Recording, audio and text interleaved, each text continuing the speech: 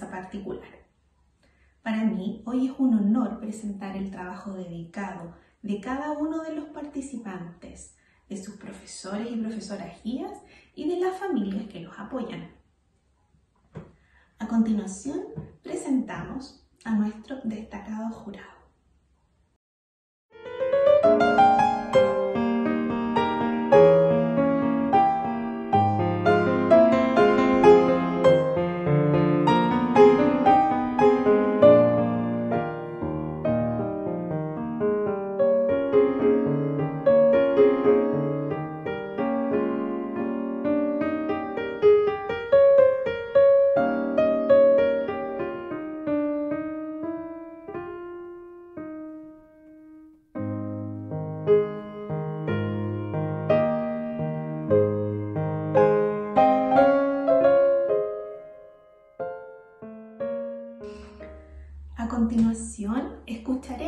Y disfrutaremos del trabajo de cada uno y de los avances que han tenido.